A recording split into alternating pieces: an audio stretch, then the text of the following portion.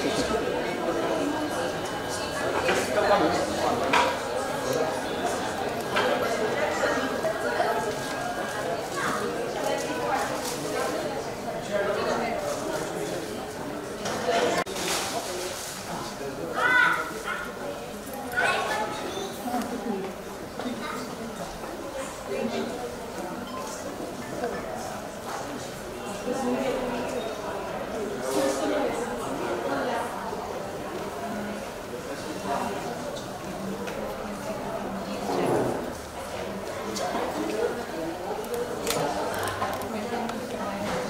Very good.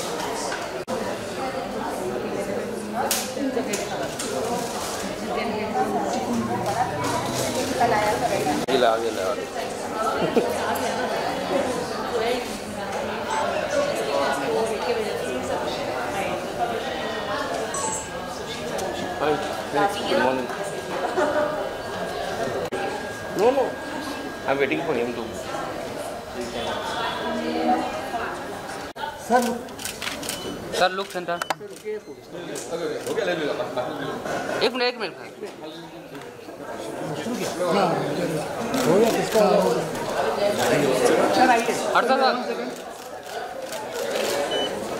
Sir आपका flash हो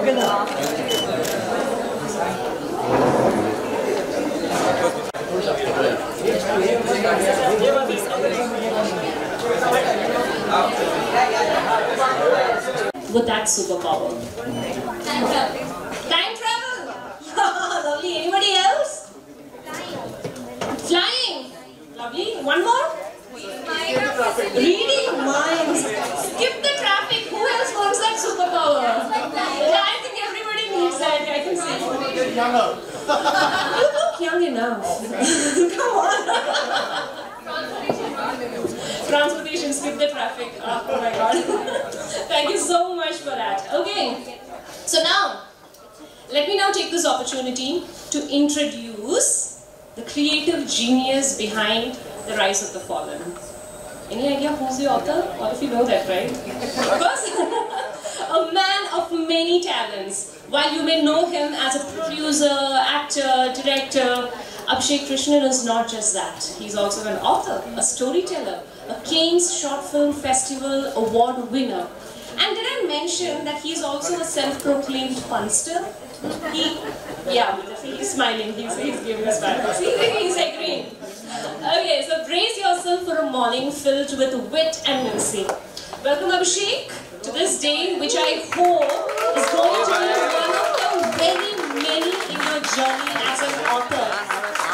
ओ भाई ए मैं घर जाओ जाओ घर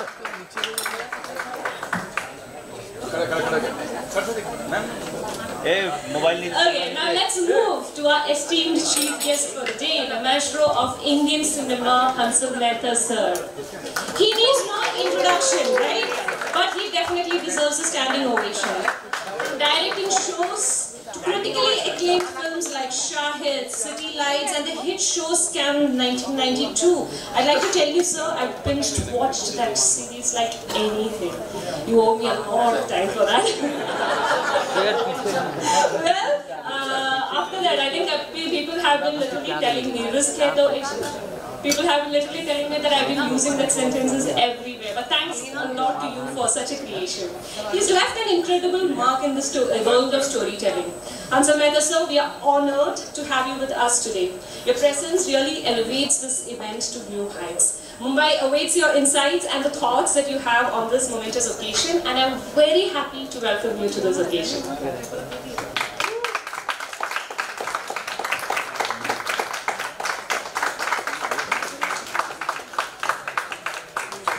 Okay, now let's dive into the realm, the magical realm, Rise of the Fallen. The biggest question is, what is this book all about? Right?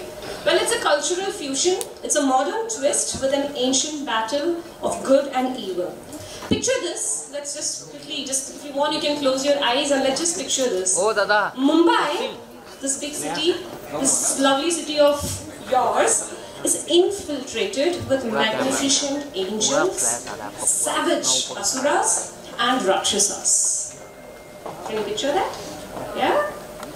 With the gateway of hell wide open, a great revolution against the gods has begun. And our protagonist, or let's just call him, simply call him our hero in the book, Rinat. Just remember this. Well, to our guests, writers, bookstagrammers, What made you write your first book? Um, so I've been a storyteller in various capacities for the past decade. I've been an actor. I dabbled in writing, directing, producing, did all of that for a while. Um, and I was very fascinated by the idea of creation, building, development, and I like the idea of taking the initiative rather than always waiting for something to come to you. And then the pandemic hit, and we all know how that was for all of us. It wasn't it wasn't the best of times. You're just stuck at home. You're you're consuming excessive content is really input. Right? You're watching, you're you're reading, but there was no vent. Uh, you know, there was, no, there was no creative vent at all. And a- and that's when I just I just had this bizarre idea of, of of this world that I wanted to create from all my inspirations. So I thought, you know what, why don't I just put them all together, uh, see where it goes, and, uh, and and and yeah, and then you know it, it was that that was that's what actually gave me some kind of purpose and drive through through the through COVID. I would wake up at five and sit there to write, gave me some kind of some sense of passion. I remember even um, when I actually had COVID, I would uh, pop dolos, and when you pop dolo, you know you have this brief window when you feel like the fever has subsided, and then I would quickly jump and write a few lines to feel a little fulfilled. Ah, okay, आज कुछ तो And then you know, and then feel terrible again. But uh, I think that was a very exciting process, very fulfilling process. And besides that, no one was giving me 300 crores to make a film out of it, so I thought let's. Uh, wonderful, wonderful. Hansal sir, uh, you know, what is the first thing that you wrote or created, and what drew you towards it, that particular subject? You know, a couple of things. One. Uh, I am a lazy writer. Those who are usually uh, trouble writers a lot. I make them uh, write for me. I've written uh, very early on in my career. I wrote uh, some short stories which I film. I think I write primarily for film, and uh, I wrote a film called Omerta. So that nobody was willing to write I sort of had to write because there was a deadline. We had to, I had to submit the script in 2005. And uh, I had no choice but to write. And uh, the film got made in 2017. So 12 years after How, how long did it take to write? two days. Because uh, they, they wanted it in two days and I lied to the producer saying the script is ready. So that was my, uh, so writing came more out of compulsion.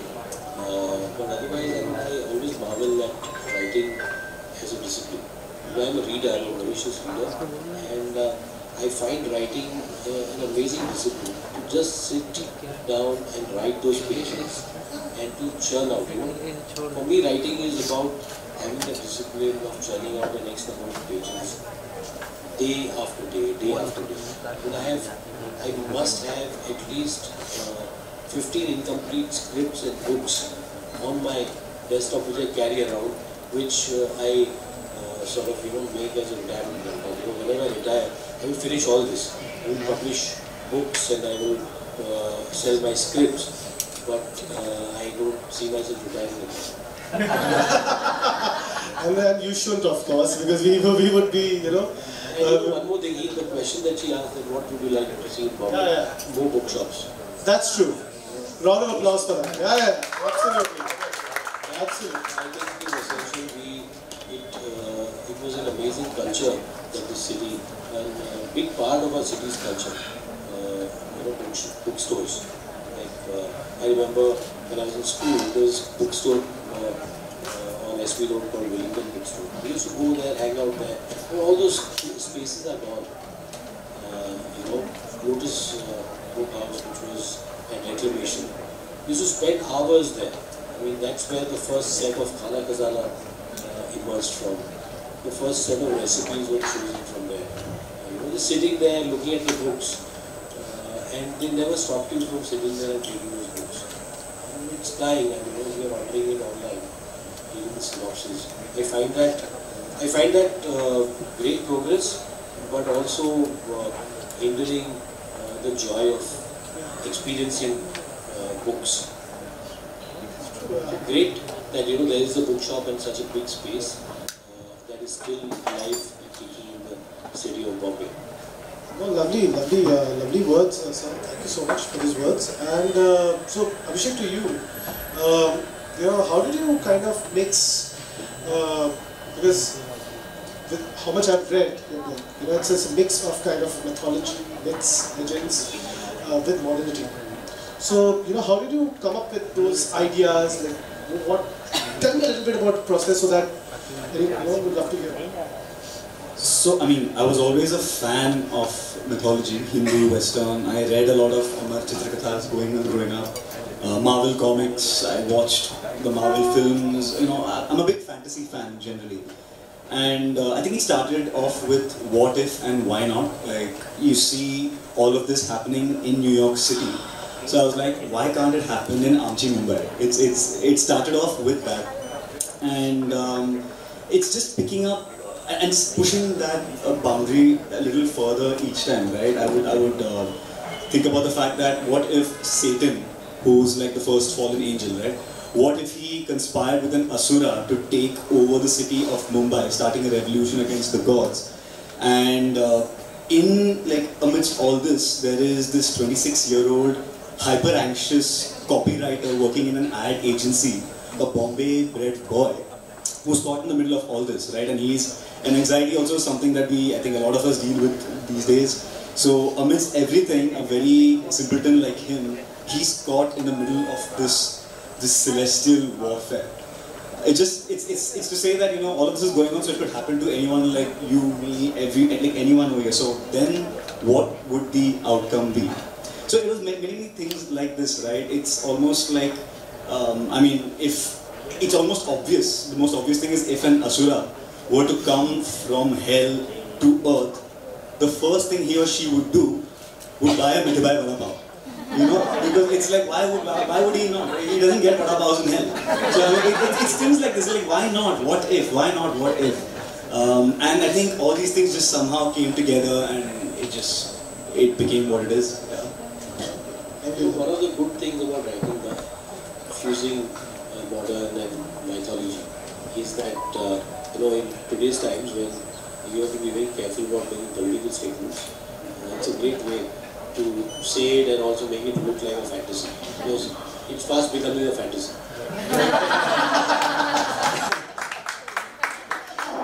No, but, but what's your relationship with the myths as well, sir? Like, what's your relationship with myths, legends? You know, like, We've grown up uh, reading and legends you know imagining like you know uh, they, they uh, are the uh, you know founding uh, you know, foundation of your imagination of your ability to look at the world not in such you know flesh and bone. You know they they transport so I grew up with that. I mean Amar Chitra Katha of course was so much, so much that we read, so much that we traveled, you know, whether it was with Tintin or whether it was with the Mahabharata, whether it was with Asterix or Obelix, uh, or whether it was Mad Magazine. Uh, you know, you always uh, traveled uh, worlds. You know, I always imagined myself as Tintin. You know, traveling into, into time, into a place, you know, finding things. I mean, Indiana Jones uh, always fascinated me as a character the last one.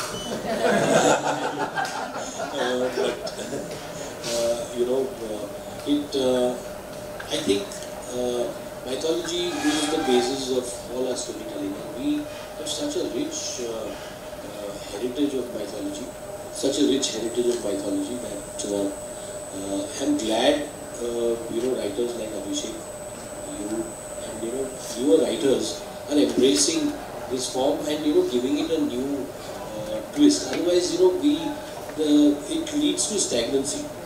The, the, uh, the same myths are repeated and we keep upping, we keep making that past a part of our culture.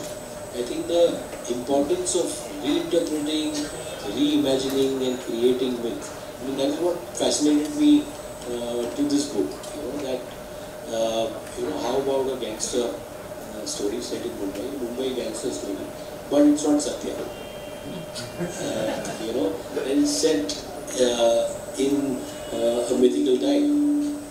You know, the victory of good over evil, which is a story, cockroach gangster story, but it's set in another time. And I think that is fascinating. You know, that you take a myth and you sort of connect it to the world uh, that you're living in. And that's what we do all the time. We're living, we're, living in Mahabharata. We being uh, forced to believe it's Ramayana and uh, and uh, yeah, we need more myths. Any project that you are working on regarding myths? Well, uh, like him, I don't get enough money to make my movies. lovely, lovely. Okay. that's, that's the hope. That's, so let's hope that uh, any producers looking out there, uh, please. Mahatma Gandhi is fast becoming mythology for us. Oh, yes, that's the next. Uh, oh, It's becoming mythology because people almost believe that it did not exist.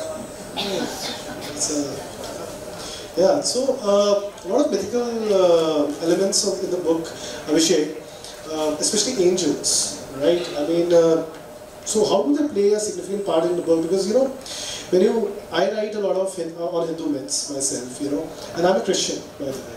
So it's something like, um, how did, uh, I believe you are Hindu, right? Uh, yeah, you're Hindu. I just confirm.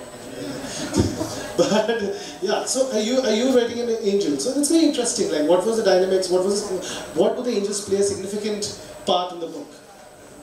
Um, I think again coming back to what all I was fascinated by, I am fascinated by your angelology, as, as they call it. Uh, so whether it's Western mythology, Hindu mythology, Greek, all, all of it alike. So I've, I've I've taken kind of bits and pieces from all of that, um, and uh, I think the idea of angels, it's, it's basically that. What if the, the, the concept of fallen angels comes in the Bible, right? Satan, the first of the fallen, has been sent down, then he's kind of banished into hell.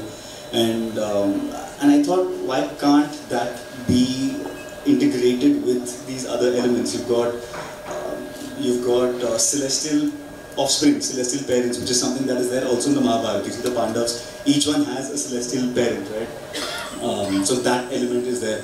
Asuras and Rakshasas, that element is from Hindu mythology, and angels, of course, is from. So the idea was to bring all of it together. It is the concept of hell and heaven exists, I think, throughout wherever you go. The idea of uh, good versus evil that is something that exists throughout. So why can't you just take bits and fuse them up together? And more than that, also it was a great way. It was kind of the inciting incident, a great way to begin the story because the fallen angels they kind of uh, they are in cahoots with the asuras and rakshasas and they the gateway of hell opens and they unleash themselves onto mumbai so the story begins from there so it felt like a, a great way to start the book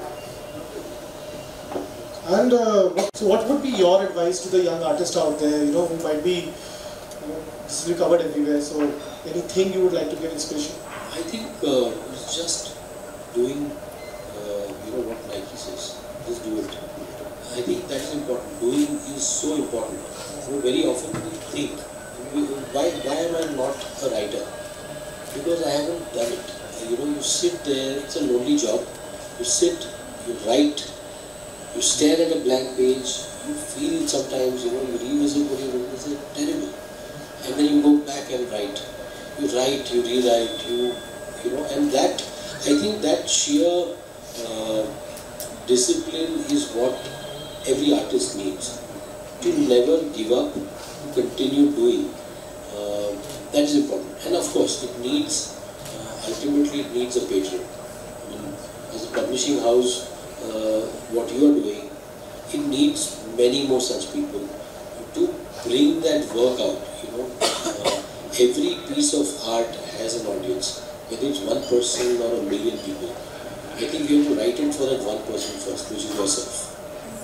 Do it for yourself. You are that. You are the first member uh, of the audience. You are the first consumer. You are the first reader. Do it for yourself. A million will follow, but continue doing it. You know, don't give up. If you can read what you've written, then